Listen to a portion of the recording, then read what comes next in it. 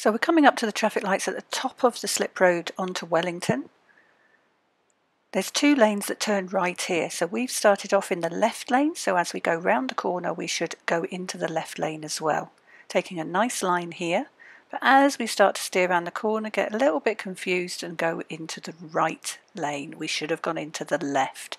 Luckily, there was no one on the right hand side. The student did not look over their shoulder or check their mirror before they went into that right lane. The blue car behind us, if you noticed, did it correctly. They went, they were behind us in the right, in the left lane and continued in the left lane. Unfortunately, that would be a serious fault on a test.